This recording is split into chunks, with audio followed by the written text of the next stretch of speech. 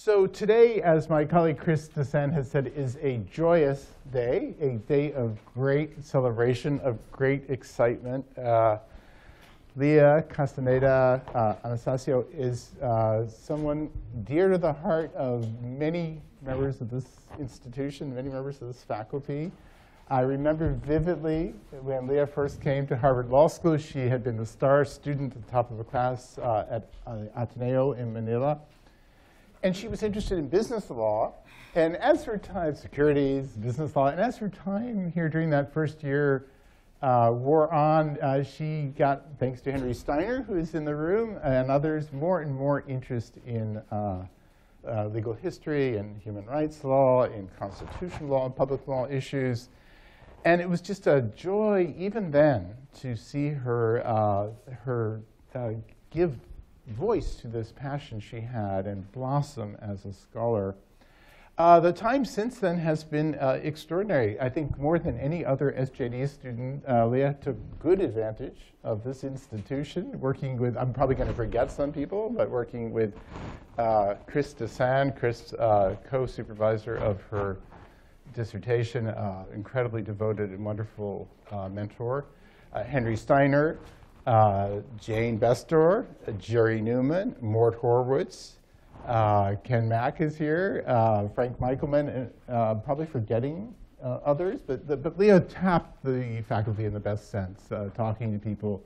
Um, just a wonderful exemplar of what a scholar should be in sort of developing her ideas, testing her ideas, welcoming critique and challenge.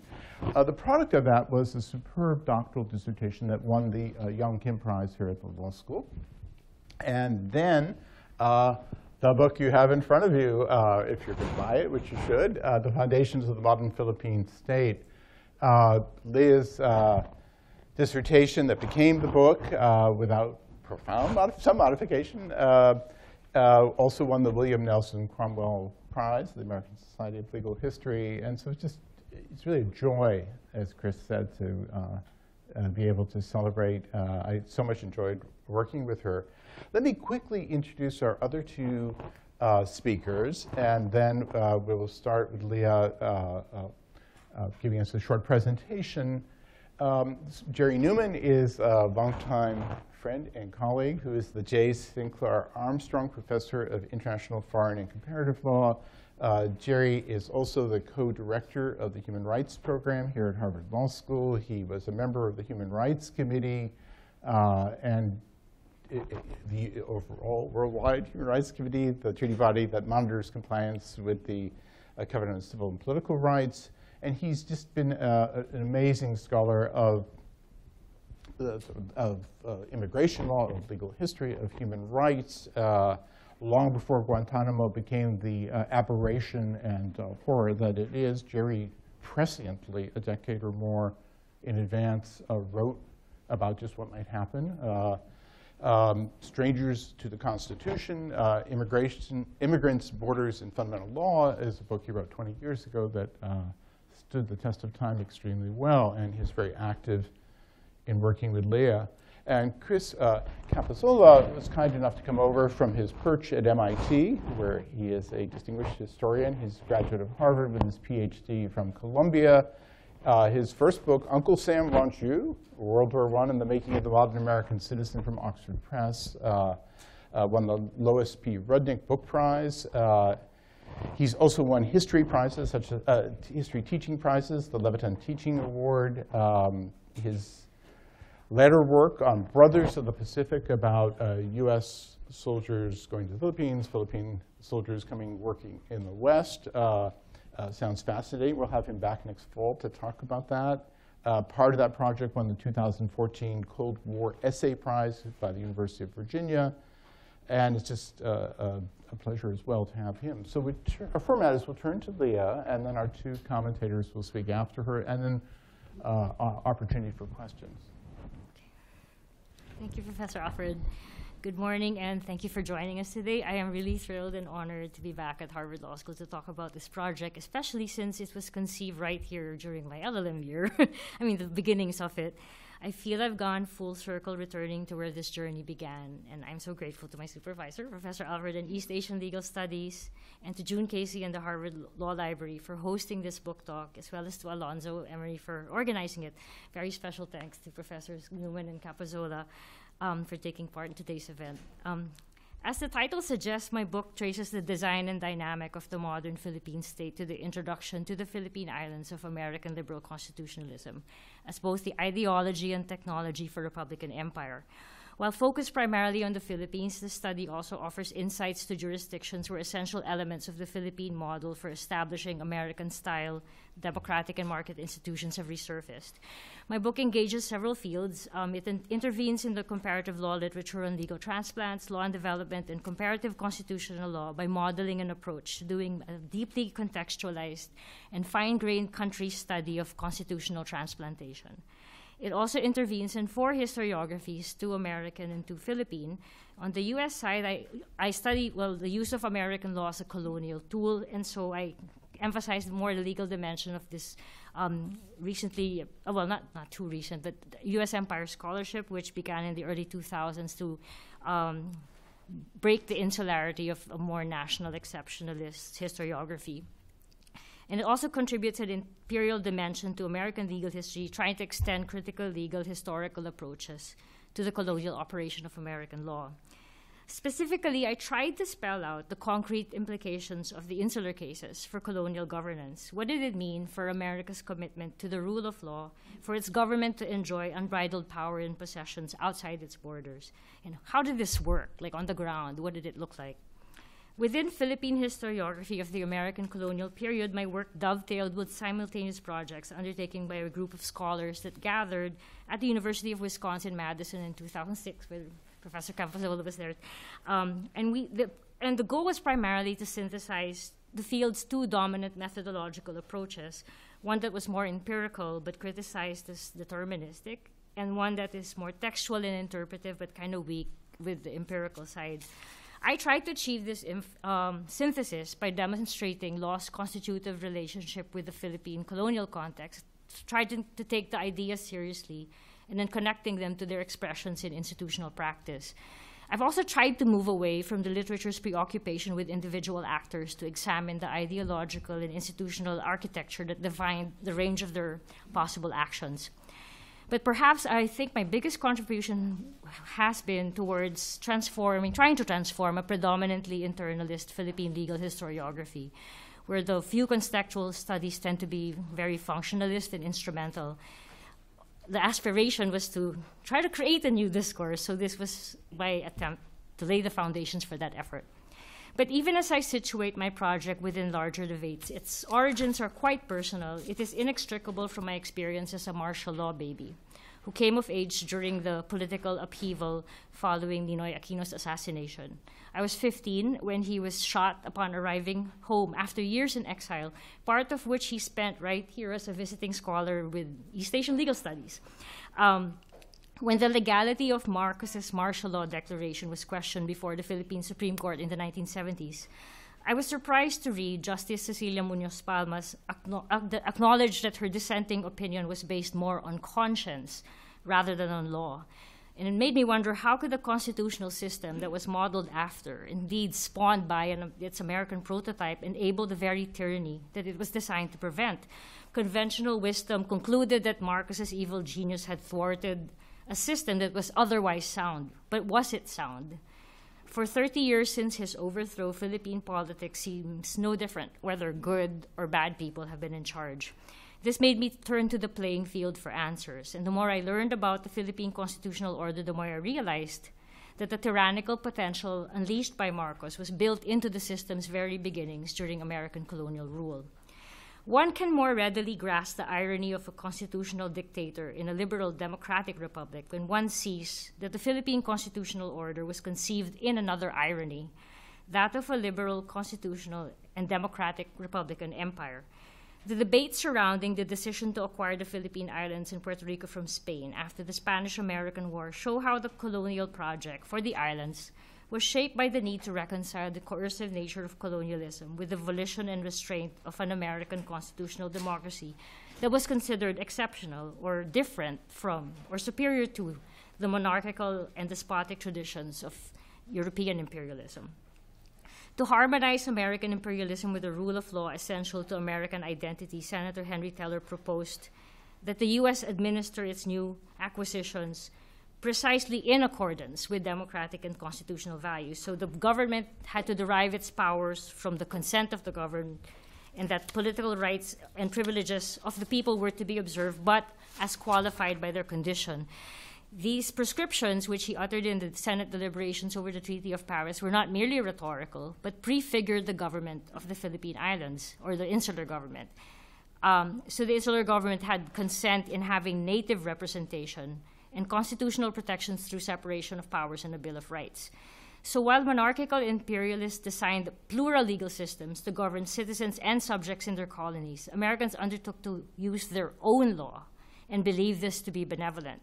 Yet full participation in this legal regime was premised on fully developed capacities honed by education and upbringing within a civilized, that is, a Western cultural context. So, since Filipinos were uncivilized, their condition altered the nature of consent and constitutionalism in the insular government. My book explores precisely the consequences of rendering, implementing, and legitimating these colonial civilizing goals in the language, processes, and doctrines of its constitutional tradition. The program for realizing this balancing act was put in place during the so called Taft era or first 13 years of American rule. Insular Supreme Court Justice George Malcolm described this balancing exercise as an anomaly that produced a nearly impossible government, which was not foreign to the US, yet foreign in some respects, not sovereign, yet having the attributes of sovereignty, not a state, yet patterned after a state, not under the Constitution, but influenced by the Constitution, with the Filipinos not being aliens yet not citizens of the U.S. And the government and laws of, uh, and the laws of Congress, presidential orders did not operate in the country directly. Yet the representatives of the Filipinos could not make their own laws without um, uh, without any restriction from outside power. The essentials of this nearly impossible government is what Filipino framers preserved in the 1935 Constitution, and that facilitated Marcos's constitutional dictatorship. So, how did civilization qualify consent in constitution and create American empire's version of the despotic? Since Filipinos lacked sovereign capacity, their consent was irrelevant to the legality of American rule. But Americans still paid heed to consent by trying to create consensual capacity, by civilizing Filipinos and their milieu to support a democracy and training them in self government in appointed and elective offices through a graduated program that progressively increased their presence and control over the government as they acquired capacity. They portrayed this program as what Filipinos truly wanted. But privileging capacity drew Americans to collaborate with a faction of the Ilustrados, or the local directing class composed of the wealthiest, most educated Filipinos whose values overlap with theirs, but who supported the American program. This so called policy of attraction, which was um, initiated by uh, William Howard Taft as the first American Governor General, wed Americans to Ilustrado interests and gave an elitist cast to Philippine politics that endures to this day. But this Filipino cooperation proxied for consent, even if it wasn't sovereignty, it was approval of the program, and gave legitimacy to the colonial government within America's democratic tradition. But at the same time, it also gave Filipino leaders tremendous leverage, even though they were not sovereign, as we shall later see. As for the Constitution, civilization tweaked constitutional limits, both structural and substantive. By structural limits, I mean federalism and separation of powers. Federalism did not act as a check on American colonialism because the island stood outside this relationship. To accommodate possessions that would never be states, the insular cases created unincorporated territories and paved the way for the, the forging of a more potent variant of American constitutionalism in these areas, one that unleashed power rather than restrained it, because this new territorial category made Congress virtually a constitutional emperor by vesting in it sovereignty over distant and foreign lands. Combined in Congress, federal, state, and inherent sovereign powers subject to no constitutional limits except basic natural law rights, because it gave the Constitution only moral but not legal force in these places. So, separation of powers also did not effectively check American sovereign power in the islands because it merely upheld an unbalanced configuration dominated by an American held executive. Over three organic acts, namely McKinley's Instructions, the 1902 Organic Act, and the 1916 Jones Law, the War Department and the U.S. Congress put the insular government on a path of progressive evolution from a territorial government structure to a state government structure. So in the central government, they started with a mixed American-Filipino body called the Philippine Commission, in which were fused executive and legislative powers and which had an American majority, and then moved towards separating and assigning executive and legislative functions into distinct branches and concentrated executive power in Americans and legislative power in Filipinos, giving the latter full control first over a lower house called the Philippine Assembly in 1907, and then both houses of the legislature by 1916. In this way, constitutional law was enlisted to neutralize colonial identities, channel colonial conflict into constitutional categories, and settle conflict through the mechanical application of law. But there was no balance between the departments because Americans infused their governing principles into the remnants of a Spanish colonial structure that they had taken over. And this structure had pretty recently, I mean, dr- uh, late part of Spanish um, rule, centralized in the Governor General top down control over insular administration from Manila to the barrios, and consolidated in the Governor General compete, the competing and overlapping jurisdictions that had previously been farmed out to different heads under Spain as a way to check him. Taking over this structure constituted the insular government with a single, as a single administrative unit with the American Governor General as its unrivaled head. So there's never any question that the administration was part of the executive branch in the islands. Moreover, as Filipinos captured the legislature, the Organic Acts compensated for the loss of American legislative control by strengthening and accumulating executive power in the Governor General. It, for, they, for instance, they gave him the power to initiate the budget, and he benefited from a feature called automatic appropriations in case the legislature could not or did not want to pass a budget. Um, so when we extol separation of powers as a safeguard against tyranny, it bears asking tyranny by whom and from whom. Operating against a background of legislative supremacy in the US mainland, the American constitutional system was designed to curb majoritarian tyranny or legislative despotism.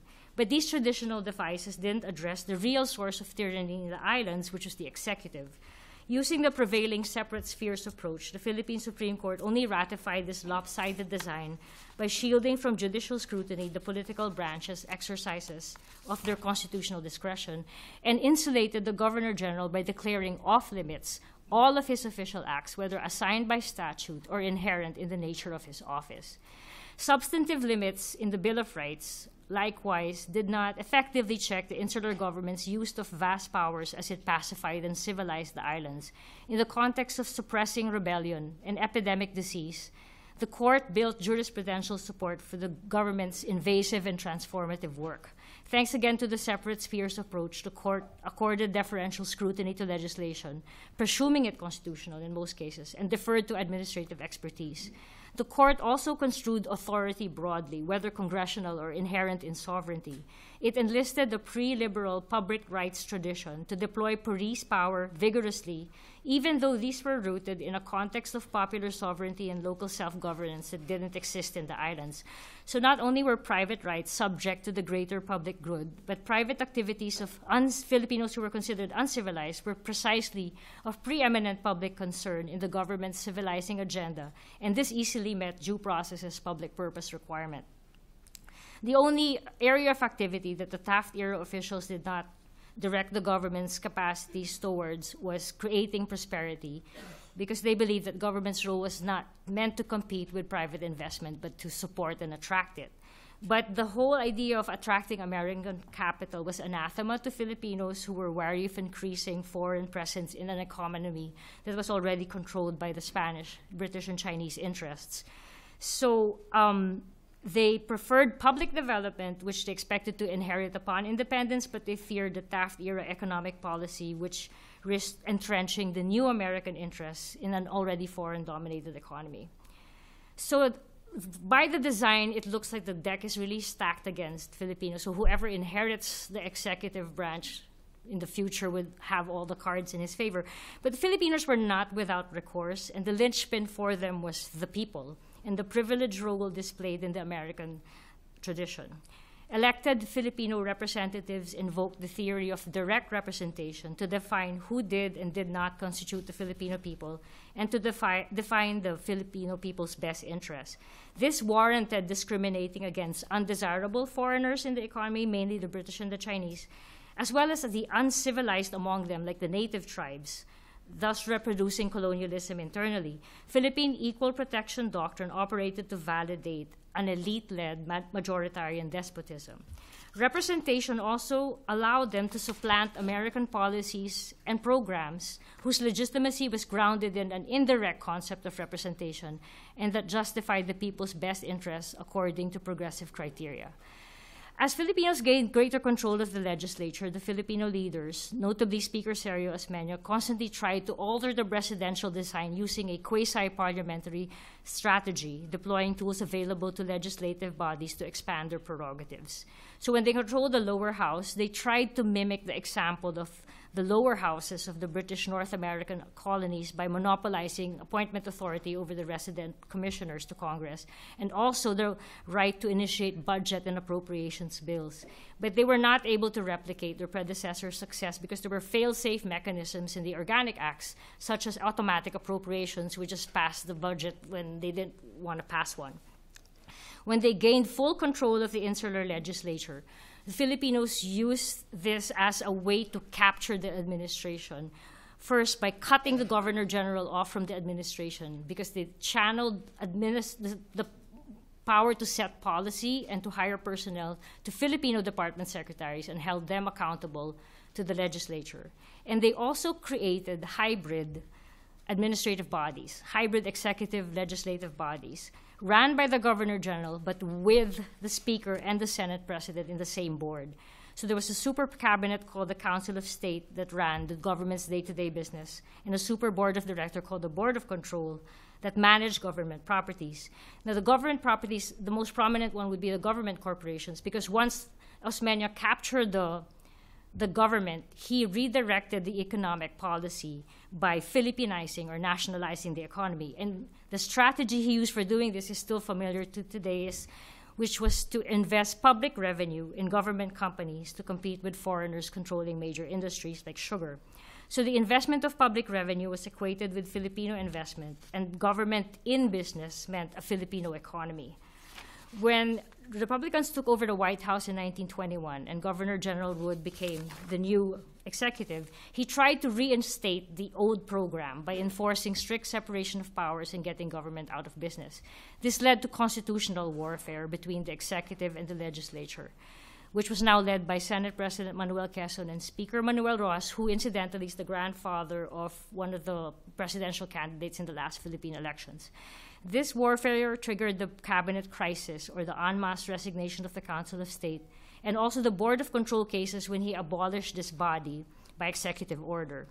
Both the Philippine and U.S. Supreme Courts upheld Governor General Wood's um, position, and this vindicated the original design. It's, it got rid of the Filipino alterations to the government and reinstated the original program, but it left unaltered the government and business strategy, and with it, the government's developmental capacity.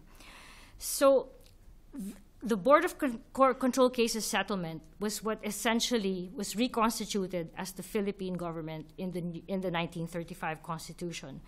And in doing so, they, uh, they also modeled the Philippine president after the American governor general, but even gave him more powers. And in doing that, they reproduced and perpetuated this colonial dynamic and provided the apparatus and justification for constitutional authoritarianism. So I think, in light of that, we can better understand Justice Palma's lament that she could only dissent on moral rather than legal grounds in the martial law cases, for nothing in the system truly foreclosed what Marcos did. Indeed, it enabled him, just as it enabled the governors general after whom the Philippine president was modeled, just as it will enable leaders with totalitarian proclivities both now and in the future. So I look forward to your comments and your questions. Thank you and good afternoon.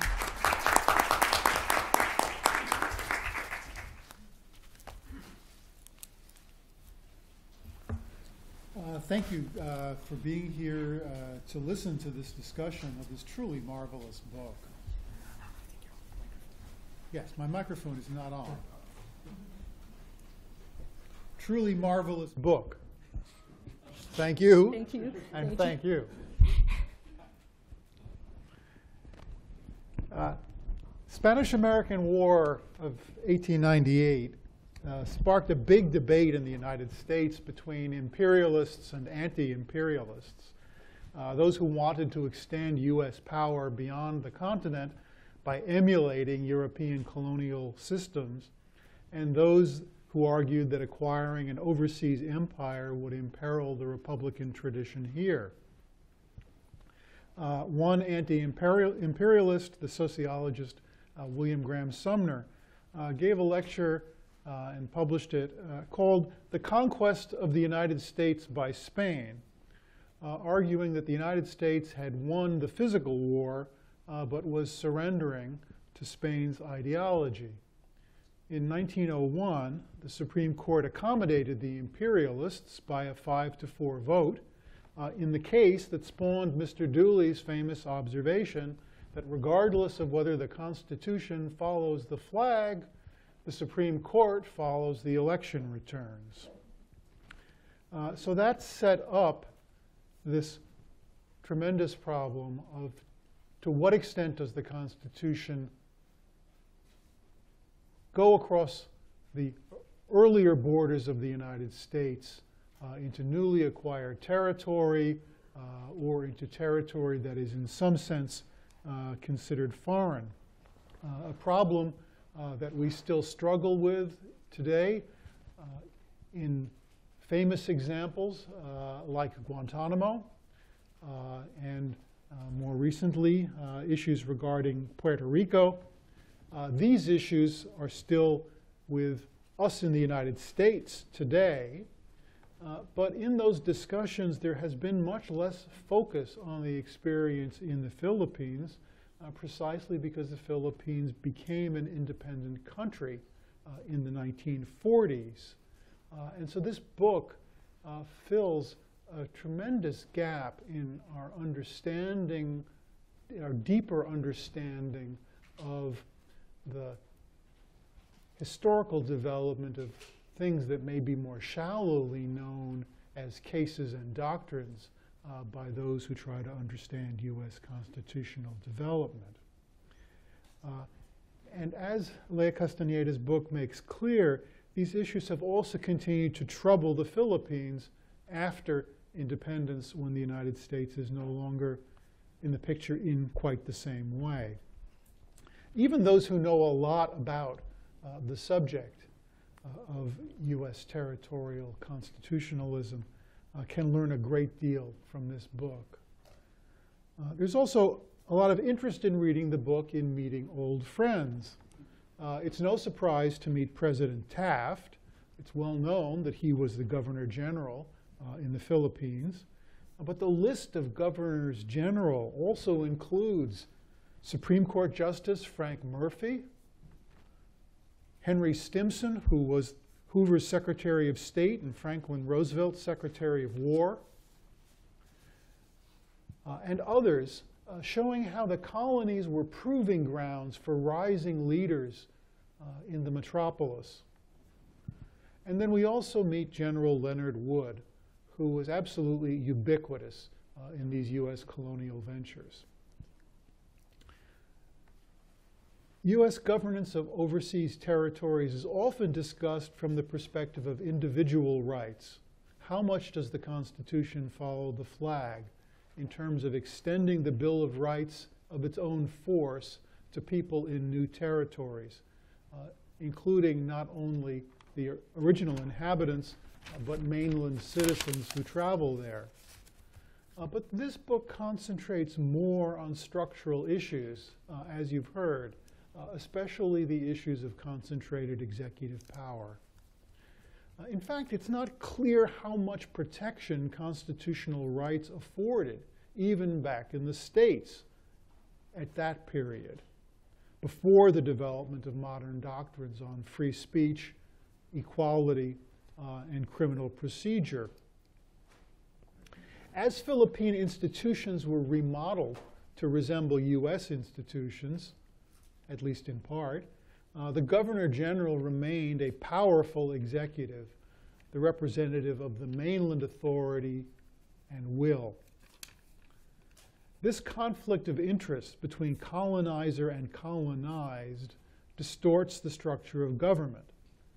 Uh, and as the book explains, uh, the tradition of executive powers was then passed on to the Philippines Constitution as it prepared for independence. Once all branches of government were in Philippine hands, uh, the document established an imperial local president with the power to suspend habeas corpus uh, and declare martial law, including other things uh, that the U.S. president cannot do at home. It seems to me that this book prompts a question for research about our own domestic constitutional history.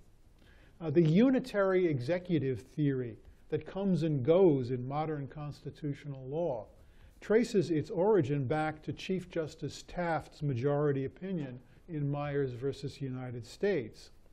Uh, and it's often remarked in that connection that Taft was speaking as a former president, but I think rarely noticed that he was also a former governor general of the Philippines. How much was Taft's thinking about executive power influenced by his experience as a colonial governor uh, and his observation of the disputes that his successors uh, had gotten involved in?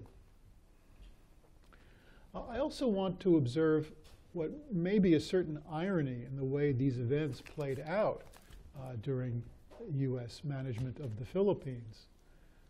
Uh, the struggles that the book documents varied from governor general to governor general, partly in alignment with Democratic and Republican administrations. Uh, some governors general were more respectful of Philippine political parties and politicians uh, and more favorable to relatively rapid movement toward independence. Uh, others were more distrustful uh, of local parties and politicians uh, and more interested in maintaining U.S. control uh, for a much longer period. Leonard Wood was one of the most confrontational, as we've heard, and he tried to break up the structures of patronage that the local politicians were forming, which later became some of the important tools uh, of the subordination of the legislature to the Philippine president.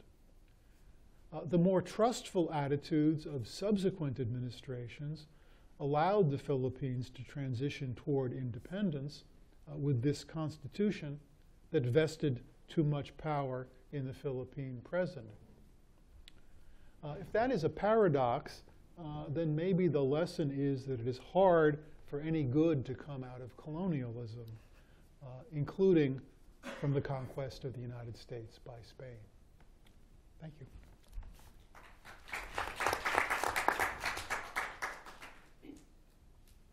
All right. Uh, well, thank you all for, for coming. Um, uh, and thank you, Leia, for allowing me to be part of the, uh, uh this Valentine's Day gift of, of sort of uh, that we are sending you today uh, to to thank you for, for writing this book and giving us a chance to, to talk about it. Um, I'm going to just say um, two, uh, two great things about it, um, raise um, sort of one quibble, um, and then ask you two questions. So we'll go, go from there. Um, so the, the boldest praise, uh, I think that we can all, uh, every scholar will agree, this is the best book ever written about Philippine legal history. Um, now, if you've looked at that shelf uh, of books, you might ask, is that a backhanded compliment? Um, because, in fact, as you point out, uh, there, the, the literature is not as um, sort of, in many ways, uh, trapped in sort of doctrinal and even sort of almost hornbook style uh, kind of books on, on, on the field. Um, but uh, I mean it as a real compliment, not a backhanded. All right, uh, and let me give you some reasons, and or the audience, I guess, who hasn't read all these books, the reasons why. First of all, this is the deepest and most fully researched book ever written on uh, Philippine legal history in terms of archival materials, published records, treatises, um, and the records of both the Philippine Supreme Court and the U.S. Supreme Court. It's astonishing how little the published opinions of the Philippine Supreme Court have been used by scholars uh, both in U.S. and Philippine history. Uh, second, it's, uh, it's it stands out for spanning the entire colonial period from 1898 to 1935 uh, and even a bit beyond, um, rather than focusing simply on the, the Spanish American and Philippine American War, uh, which has drawn a great deal of attention from, for example, John Fabian Witt and Clara Altman in her recent dissertation, um, or uh, by examining just the insular cases alone, looking at the Philippines from the seat of the U.S. Supreme Court um, by, uh, that has been done by so many people in the last few years. Really, instead, looking at the day-to-day administration, showing ongoing contests and remakings of the constitutional order. Um, third, it is incredibly uh, successful in turning our attention away from individuals and toward institutions. Um, that uh, this is the, the, the, habit in Philippine uh, sort of colonial history toward uh, prosopography, right, or collective biography, uh, is a result in part of archival practices um, that have preserved the papers of leading figures rather than the Bureau of Insular Affairs, whose records are in disarray. Uh, uh, or the records of the colonial legal system, which exist uh, almost not at, at all. Um, but it is also a, a historiographic problem um, that these, th these individuals are larger than life characters. Um, William Howard Taft and Leonard Wood on the US side, Sergio Osmeña and Manuel Quezon on the Philippine side. Um, and uh, so that sort of tends to focus on individuals and leaders, giving us an overly biographical approach uh, to this history. Uh, and it is not fully redressed by the efforts in Philippine historiography of the last, uh, say, 30 or 40 years to develop a history, uh, a sort of popular history, or a sort of bottom-up history in which the people and the crowd uh, sort of function in an almost sort of undifferentiated mass, um, whether in sort of Marxist historiography or in more sort of social historical approaches of, of scholars like Reynaldo Ileto and others.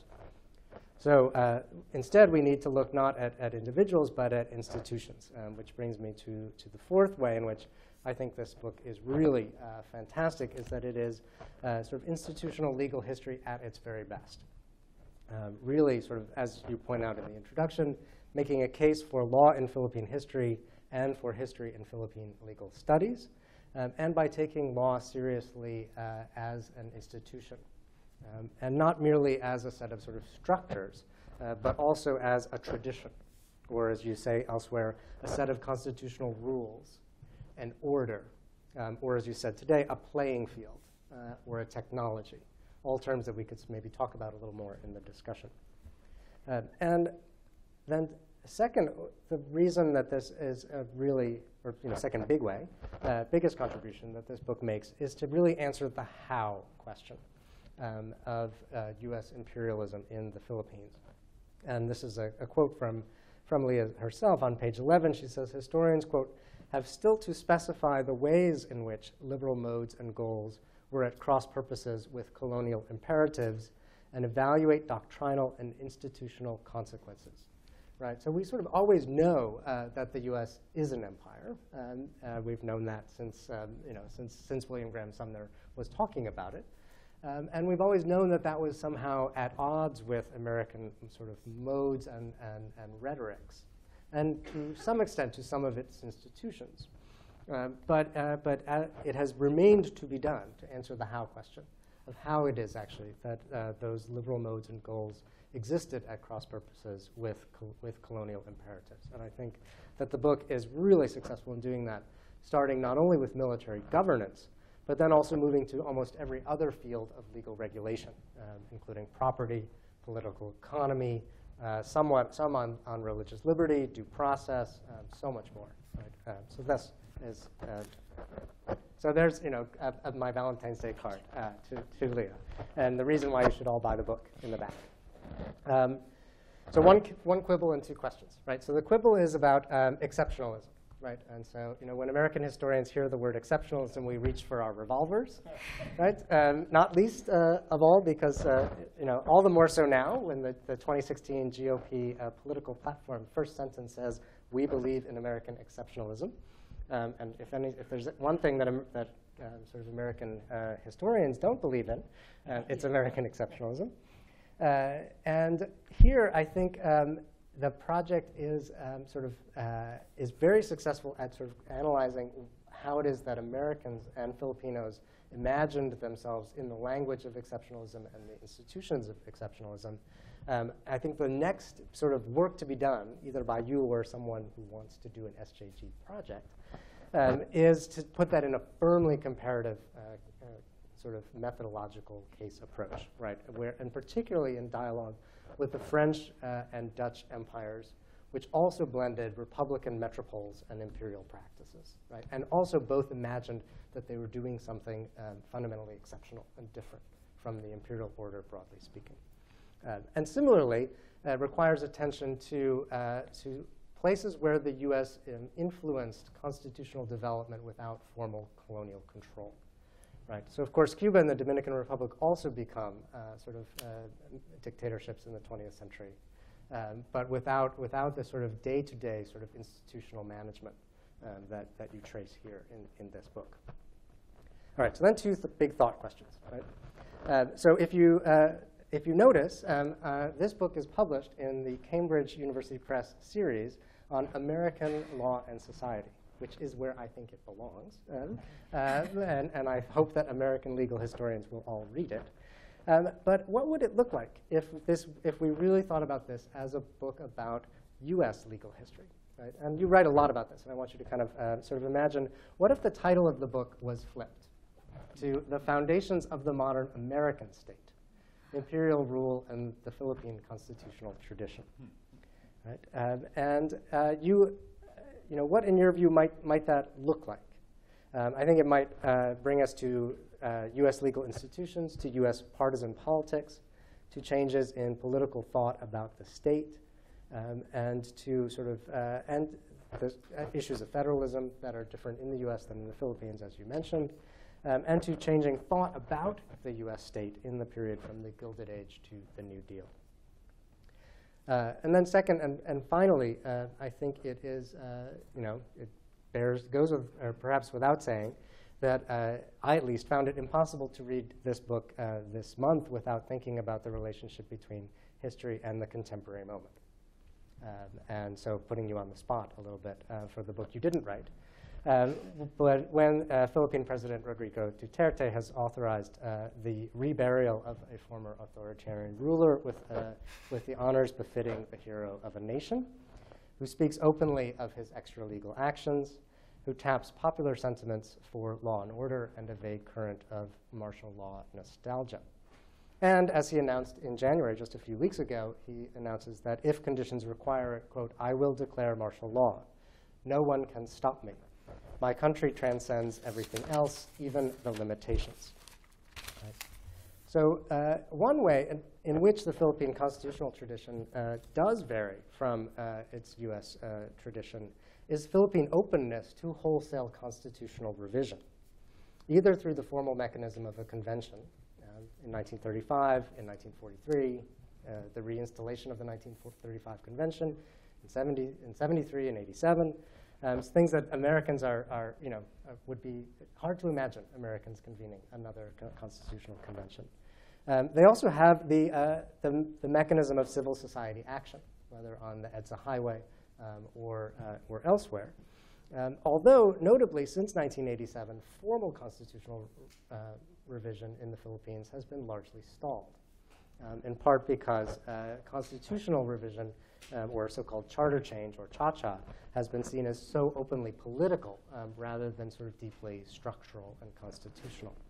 Right? So what do those uh, long traditions and, uh, and, their similarities and differences um, and their current sort of uh, set setup tell us about the strengths and the weaknesses of the Philippine constitutional tradition in its current moment? Right? So to go back to Duterte's assertion, no one can stop me, uh, is, is he correct? Thank you. If you could give uh, Leia a chance to uh, respond or comment, and then open the floor. Well, thank you so much for your comments, and um, yeah, I'm, I'm, kind of speechless. And uh, yes, it is a wonderful Valentine's Day gift. But um, I was thinking about what it would look like if you flipped the title. Um, I guess there was a lot of work done in the early 2000s about the influence of um, the imperial experience in I guess, in policing, um, urban development, and were, um, I guess a lot of these works tried to filter, try to look at the policies that were experimented with in the in the uh, insular setting, and then looking at how it reshaped um, state, both state and I guess federal departments, like for forestry. Um, I'm not sure though about the. I- I, guess I, I haven't really looked at that side. It would be really fascinating because for me, the one, the more, maybe the issues that resonate more for me in the U.S. setting would be, well, with the recent recent executive order for immigration. And I guess there's a lot of confusion about whether how much can you can the president really do, right, in policing the borders. And I couldn't help but think about the Chinese exclusions cases, which were the set of cases that were used to justify the government governor general's powers in the Philippine setting. Deportation were the um, were the acts that were being challenged as well, and it was really hard to to grasp the idea that wow, so there's certain parts where there are different kinds of power that exist, and in this area, it's inherent, it's plenary, it's sovereign. So I guess the answer to that would have been, wow, yes, he, he really does have that kind of power. But so, so the impact of the, for me, it, that was clear to me because I saw that tradition. So maybe if people were more conscious about what was happening on the outside, then the, what's happening today wouldn't be so confusing, and maybe the corrective, the, I don't know what kind of corrective action can be taken, but um, at, least to clarify the premises of the discussion, it would be helpful to see what the experience was previously. So that's what I'm seeing the impact is. It's, it was happening there in the 1914s, and then I'm seeing the same kind of, um, it's not even a power grab, it's just an assertion of a power that's already been there. Like the loaded gun is being fired, I guess, is the, so I guess that would be, that was the, I guess the main thing that um, struck me about what would happen if you flipped um, the title and looked at the impact of the Philippine experience or the colonial experience back in the U.S. mainland. As for Duterte, can he do it? um, the one difference between, I guess, the Philippine Supreme Court of the 19 of the American period and today is that there's a provision that's added to review grave abuse of discretion. So in the past, under the American system, there would be no way to question even that order. Like, oh, it's an official act, it's off limits, political question. Now there's a way to review it, but it doesn't mean you're going to get an answer that's going to um, stop him. And I'm not sure whether the answer for that would be legal or there's a lot of talk about corruption. So they're, already talking about which justices would be more inclined to go this way and that way. So I don't know if the answer there to that would be legal. The, the, the means for stopping him would be there, and the question is whether there would be the will for it. Um, but as for the charter changes, my sense is that if I, when I look compare the documents from 1935 all the way up to 87, which is what we studied when I was in law school, I don't. I mean, there's a the changes I find are very superficial. There's no real fundamental redistributing of authority, which I think might be a good place to start. It's just a little bit of tweaking here and there, and then there's a lot of reactionary responses to glaring abuses by an individual. Like in Marcos's case, for instance, he kept his illness hidden, so there's this whole extended section about if the president's lying about his health, what can Congress do? So it's not very far-sighted in that sense. Not very. It's more addressed to what individuals have done in the past, as opposed to um, how. And it's, the question is always like, how do we stop him from having this, exercising this power? But I think maybe the bigger question should be, how do we even distribute this power? Um, not just centrally within the the government in Manila, but actually. Um, federalism is a big is something that they're reconsidering now. I'm not really sure, but I, for me, it hasn't worked so well. I wouldn't be so um, averse to going in that direction, just seeing how it plays out. And the other thing um, that I I think might have um, support historically, or at least the the tendency to do that has always been there is more of a parliamentary setup, because I've seen it. Um, in the Malolos Constitution, which was the revolutionary constitution, there was already that tendency to want to check an individual with this. You kind of disperse power more by um, collaboration rather than having this one guy and then um, have all that control. And then even during the American period, they were using a lot of the strategies that were that were in their revolutionary constitution, but they were justifying it under American um, principles, but it was actually something that they had always been doing, um, that they wanted to do, even for their own government, had their own government survived. So maybe that would be uh, something to, to consider, I think, that kind of structure.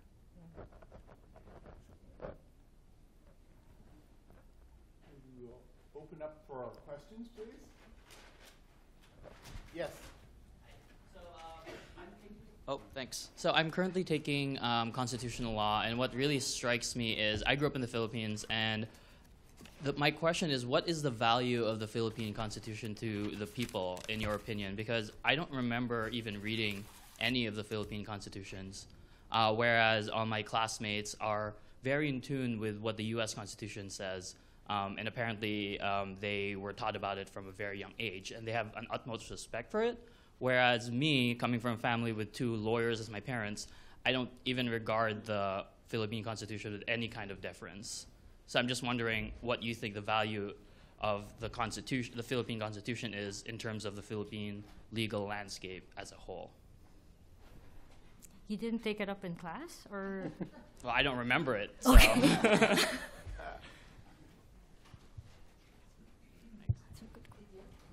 sorry, I did in political science, and then of, yeah, in grade school, high school? no, Yeah. So, grade I see. That's interesting. I wasn't the, I don't, well, what value? I think it might be um, because there's such a separation between legal and political, and um, in the Philippines, meaning it, what I've noticed when I first came to the U.S. was how the law was such an actor in in in U.S. history. Brown v. Board of Education, like you can mark certain important events in the U.S. with these major cases, and I don't think that I don't recall studying Philippine history in that way. Like we'd even note the cases. And I think maybe the problem, it's not so much that it's not valued, but it's so internal to the profession that there's no attempt to sort of try to make sense of what's going on politically by looking at the, the rules of it. So that, I guess that's how I'd answer that. It's not that it's not valued, but it's just a way of looking at the disciplines um, as being very separate and having their own internal world, I guess. Yeah. Professor Desan? So, um, I want to ask you about uh, federalism, because I, for years, have thought of federalism in the United States as um, something that strikes a balance between federal and state power. But recently, given the circumstances, I've begun to think of federalism as something that actually might strike a balance between state and executive and federal executive power. So, in particular, what I'm thinking about is the fact that the much maligned police forces of 50 states are separated from the national national um, police or law enforcement, whether it's ICE or Mhm. whatever FBI has or national security. So, immigration, for example. Um, that is to say, it suddenly becomes a check on executive power not to have military, direct line, and sort of military police control in 50 states. For you know whatever the vices of those police and abuses of those police, they're separately controlled. So I wonder if you could reflect on the you know the analog or sort of how this applies in the Philippines, given the I assume lack of separate police units in sort of something analogous to our state structure. So the, the sorry, uh, the reflect on the, uh, the So- consequences for. So, you know, so in the United States case, it's a comfort, right? It looks like Okay. a check against fascism Right. to have fractured police control. And I'm wondering, and I had never thought of it that way until being confronted with potentially powerful executive or ambitious executive. So I'm wondering if you can tell a story. I mean, in terms of your book, I read it as more, including when you were writing it, as more a separation of power story, although I know it has a federalism element. And so I'm just wondering if you can amplify your thinking and sort of explore for us the constitutionalism of federalism as an as a check Within the the US. executive in, Uh, within in the Philippines, either right. then or today. Well, I think the main problem was that um, we didn't really have strong local government um, units, whether from Spain up to today, and they tried to. Um, they passed a local government code because even for tax collection, even local taxes went centrally to the f- to the, to the Manila government. So, and I think Chris would be able to address this more about the policing. And I think Professor McCoy had a book about the, po- the Philippine police was nationalized. So maybe even just the municipal police were under the local government um, units, but that's never going to be strong enough to to offset the control of um, the legal use of force from the center. And I think that might have been, I think I understand that during the American period, that was the, the design to centralize the use of force and where you could control it. But, um, and even today, I think they militarize police to attack. There's sort of not that much separation between police and military, but I'm not too sure about that. But that's just the impression I get when they send off um, units to to to go to the places where there are uh, not insurgents but um, terrorist organizations operating, and um, so it right now the way it's designed, it probably won't be such a a rival center of power just because everything is still um, pretty much controlled from the center. Uh, Dina Alvear? Yeah. Thank you very much. This is very interesting. When I heard you speaking, I couldn't stop thinking of Puerto Rico, where I have spent. I've been a visiting professor there a couple of times, and you know, fearing that I may ask you about a book that you haven't written, of course. I was wondering if you could say something about both methodological insights that one could apply from your um, work to what happens in you know very clear link as professor neuman uh, stated with uh, puerto rico but also with cases that are not that easy like uh, the dominican republic or cuba.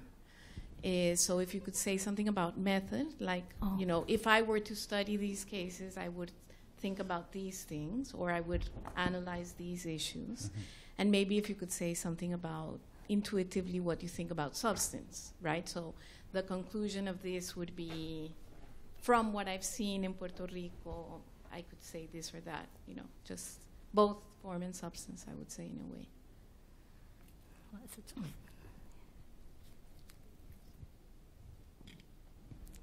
I guess the approaches that I settled on had a lot to do with the questions I was asking. And the question started with that whole sense of unease about why isn't it working? Not that I had a, a, a conclusion about why it wasn't working, but I just couldn't make sense of this is what it's supposed to do, but why isn't it happening? And um,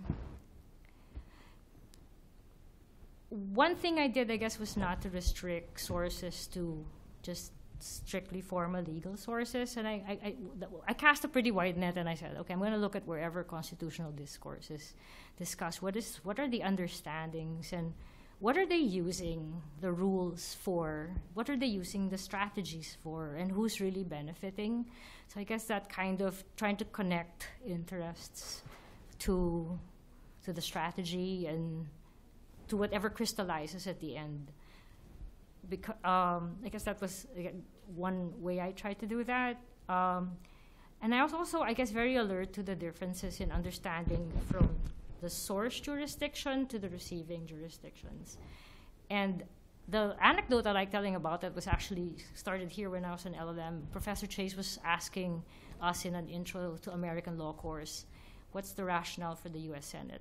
Then I, and I initially thought of the rationale that we have for the Philippines, which was that our Senate is nationally elected, so it gives a national perspective, and our House is municipal in perspective, so it's that balance between local and national. And then he talks about the Connecticut Compromise, and I'm like, what's that? and then, then so I guess that whole um, you have to. For me, I would try to always be sensitive to those, well, digressions on both sides because it's the same term, it's the same institution, sometimes even the same language. Um, it, but I would be very attentive to usage, I guess. For and as for the, I guess what conclusion, I guess it depends on the question you're asking about the experience. So I, I don't know if that helps. Uh, Jane, Jane Bester. A question prompted by uh, I, an admittedly cursory reading of Kim Scheppele's paper, um, "The End of the End of History." Um. It's. I'm wondering. It, it struck me that her concept of a democrator is predicated on the idea that these recent deviations from democratic constitutionalism are departures from recent, as- recently established norms. And it seems to me that your, and she uses the Philippines, of course, as a case example. I think you've read, looked at the paper, right? Um, and it strikes me that your, your analysis uh, cuts a shaft through her whole approach by suggesting that indeed what's going on in the Philippines today has is part of a very important tradition the, of um, very serious issues that cannot be satisfactorily analyzed in the terms in which she poses the problem. And I wonder if you have anything to say about that. Well, just from a cursory reading of the, the paper, I guess my the approach I felt was a little flipped. It was looking at what was going on in individual countries in terms of concepts that already had predetermined content, and in a way trying to shoehorn those experiences into those categories was the impression I got. But I guess in calling um, the democrators departures from like established norms. I want I what I would say to that is that the norms are double edged, or maybe or the mm-hmm. tradition is double edged, meaning it's about limits, but it's also about power. And I think what was being what was engaged more in the Philippine setting was the power dimension, but it's not an aberration; it's part of it. Mm-hmm. And so I guess that's what I would say to that. That what norm are you talking about? Because I, I think, yeah. So I hope that addresses the. So I may take the chair's prerogative to ask a question following on the last couple. So uh, I'm a little, I was a little chary of asking a question because uh, as the so-called Henry Stimson professor, uh, um, of course, uh, uh, in Leia's book, he comes off relatively positively, at least compared to other imperial governors, uh, although he did not create the Davis Cup in tennis as his successor did. Uh, but so I'm interested in something that Professor Capozzola probably as a real historian uh, uh, might blanch at, but, but the way in which um, the so-called lessons of history are or are not absorbed and learned by others later who, who have power. You begin and end the book by talking uh, briefly about the American experience uh, in Iraq and suggesting uh, uh, an, an analogy of sorts, although you're careful. And I guess I want to um, go um, slightly different focus than uh, Helena Alviar's on uh, Puerto Rico or um, other U.S. colonies. Look a little further in terms of just the um, more loosely defined American imperial experience of more recent times, uh, Iraq uh, being the most notable, and the extent to which any of the painful lessons that you describe so thoughtfully, so thoroughly, um, have been absorbed. Uh, obviously, people didn't have the benefit of your book, and they're not people in policy positions not are not by and large scholars. But to the extent the sort of lessons of the Philippine experience are communicated back in a broader um, sense, um, the degree to which they have informed, or we simply in slightly different form repeating again and again and again the same um, uh, uh, mistakes or failing to see the tensions more adequately, but as you suggest, the, the, the conflicting tensions that course throughout the history between the way we conceive of ourselves as a liberal republic and then what we actually do. I mean, for, not to drone on, but for example, uh, if you took, if one took somewhat seriously the Bush administration's explanations for um, not only the intervention in Iraq, but subsequent efforts to write a constitution, some members of the faculty involved in that, um, um, it wasn't simply imperialism for the sake of imperialism. There was supposedly a higher mission justifying that, even as uh, more material concerns like uh, geopolitical considerations, oil, et cetera, were in the background. So, just to what degree, if at all, do you see the lessons of that you've captured so well uh, understood, expressed? I have to say that I guess I've grown a lot more skeptical about th- that kind of a project. Because I often wonder, like, could if the Philippines had been left alone and not um, Mhm. maybe been educated in this um, tradition. I mean, there is evidence that they were looking at other places, the Filipino leaders were. And I kind of wonder, would they have done worse, better? I'm not convinced it would have been terrible. So I guess my, but, but of course that there's so many other issues at play, but at least from this part, from the constitutional experience, I'm, I'm kind of more inclined to let people figure their own way out. I, I don't know if that's a, if that's feasible politically, but there's, I, I just feel like there were so many, um, you could, sorry, so when you said, in the Philippines, they did set up this system and they were, they were trying, the Americans were trying to make sure to balance the representation with control. But no matter what structure I think is in, in place, people will always find a way to Mhm. maneuver around it anyway. So, um, and I guess the, the, there'd be more accountability if the players themselves were to um, undertake the whole effort, the effort. But I'm not sure if that's uh, again, you know, if, I were to, yeah, if it were, if, if that's even possible, to, yeah, because it's so, it's so, it's so much a part of the whole program for international law. So Thank you. Uh, opportunity for other questions, comments, observations. Would either of our commentators like to have a further word, closing word, before we turn back to Leia one last time? Um, well, I guess, yeah. What, um, this is a, it's, it's not a critical question, but a curiosity question uh, of where, where you would take this project next. Uh, you know, what, what remain, you know, what, what questions remain to be answered in, in either in Philippine legal history or in history of law and empire? Um, I'd be curious to know your thoughts. what's funny is that um, I'm pretty open right now about um, the the new project, like the next project. I don't, um, but I am increasingly drawn to one part of the the, the book that I didn't get into, which you pointed out, which is the First Amendment. Mhm. Um, I'm very curious about church-state relations um, in the Philippines. So that might be.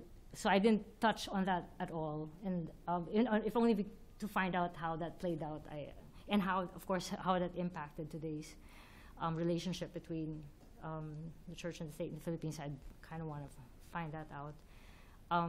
But I, I'm also curious about um, going in deeper detail, uh, studying the, the in, I guess more of an intellectual history. Hmm. Ordering Philippine legal thought, I guess, is the other thing I'm very curious about. But yeah, so Thank you. And Jerry? I guess the, the question I would ask is, uh, do you see the story you tell uh, as a very specific decolonization story or as a common decolonization story? one of the things um, that comes across very strongly in the book is the idea of the, the Independence Party, uh, which views itself as identified with the interests of the people because it is struggling against the colonial master, and then doesn't draw very carefully a distinction uh, between its own interests and interests of other people who are also part of the colonized people. And then once independence comes, uh, the, the dominant group within the colony that has achieved independence uh, becomes a dominating elite uh, that is not attentive to the interests of the colonized people. Uh, is that a more generalizable story? Uh, is, that, is that something that uh, one might be interested in pursuing further? Uh, or is that so dependent on a variety of different circumstances that, it, that you'd rather not say anything even slightly general about it? Because you're such a good historian. Yeah. Um, I've actually read a lot of the post-colonial literature that does um, that studies that development that move where the I guess the colonial elites would later take over the the independent state and would stay in power. And so I think it, it might look a little bit different. The permutations might be different, but I think it's happened, and from at least from what I've seen, it's probably um, not uncommon to for for that dynamic to have taken place. And for the, it's interesting that you brought up the dominating elite because I think that this whole um, so we have this new president, right? and um, and while it looks really horrible what he's doing, I can't help but think that it's a backlash um, because of uh, this same group of people who have been in power have been there since the 1890s. And I guess people just want to try something new, and I, I get that. But um, so maybe that will be like the next story to that, to what is the popular response once the dominating elite has somehow exhausted its chances? I don't know. But um, yeah, so And Chris has another question.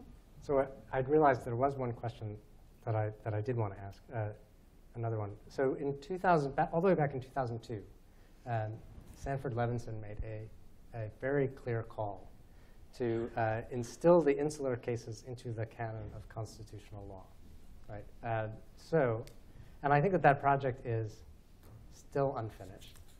But if you were going to do it, right, um, you know, what would you, what, you know, are there one or two cases from the Philippine Supreme Court's history that you think should or could really fruitfully be taught in Con Law 1 to really sort of, you know, sort of remind um, American lawyers in training that the U.S. is an empire, established imperial orders, and maintained them for a century or more? I don't think it's going to be that direct, but I, if I were to use some cases from the Philippines, I would use the ones uh, um, discussing the power of the governor general, because that's where a lot of this moves about inherent sovereign um, sovereign authority is invoked. And I, I, guess I would connect that as a consequence of Congress having sovereignty over the islands that was unrestricted by the Constitution. But you have to kind of connect the dots more. But that would be, a, I think, a powerful example of what that power looked like. What did you enable? What did the cases enable um, in the Philippines? Another interesting thing for me would be police power doctrine, just because um, I, I think from what I read from the legal history on the U.S. side, um, the prerogatives were broad because the assumption was local self-governance, but this tradition, this this power was invoked in the Philippines, but the, there was no local self-governance, so it was not checked in that sense. So it's this whole idea that um, you can't sever rules from the the institutional context where they're where they're supposed that's supposed to um, control the reach of the power. So I guess, again, as a consequence of the Philippines' status and location in the federal architecture outside of it, so that's what it's going to look like. So even, because what, what strikes me about um, the use of Philippine constitutional rules and, and decisions even in the Philippines is that when you read case books from from the colonial period, it's like, oh, we really did you a great favor because this is such of a protection. um, and the Philippine law is just an eddy of American law. But and because you have this, you have police power, you have the Bill of Rights, but then there's not, and it stops there.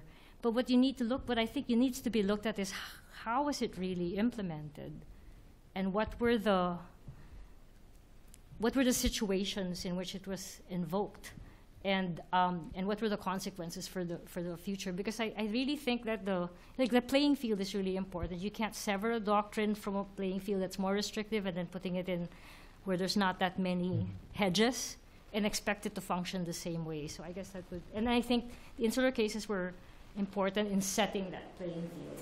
So even if you have the doctrines going over there, I don't think they played out the same way. Thank you. Uh, Yes, uh, Mr. Bell. Um, Thank you, Leia, um, for the fascinating talk. Um, uh, My question is a little bit off the topic of the book, but thank you. But it's kind of relevant uh, to the grant research question. You talk about making of the modern state in Philippines, um, and I think there is a very uh, important concept within it that's sovereignty. So you, you look at through constitutional law, and some people look at through international law, right? Philippine um, um, um, the period you covered um, contains uh, Philippine under colonial rule and after it gets independence. And my question is, did you encounter a- a- any material that um, Philippine legal or political elites, their vision on international order or international law has been influenced by the U.S. counterpart? whether their whether Filipino vision of international order at 1930s, 1940s, or 1950s has been influenced by the U.S. vision of international order at that period. That is, um, um, uh, in making in making a modern state, Filipinos' uh, concept, the vision of sovereignty and the international order has been influenced by the U.S. War is influenced by the uh, anti-colonial movement more.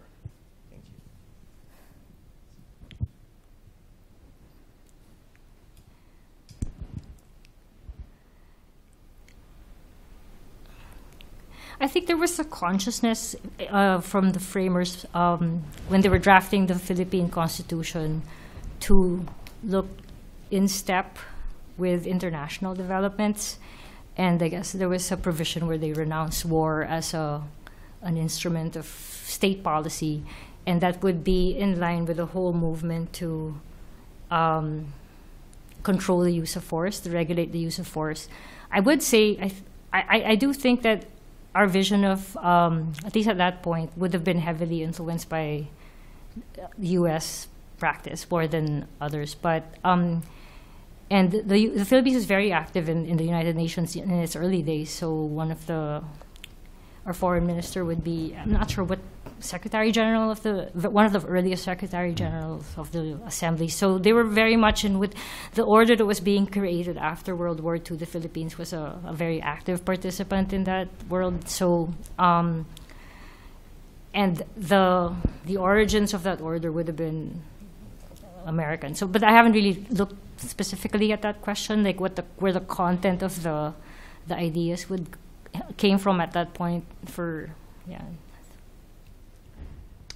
Thank you very much. I think we'll conclude our session, but again, we want to congratulate Leia on this amazing book. Thank you, and thank our commentators, and thank the Harvard Law School Library for making this possible. thank you everybody.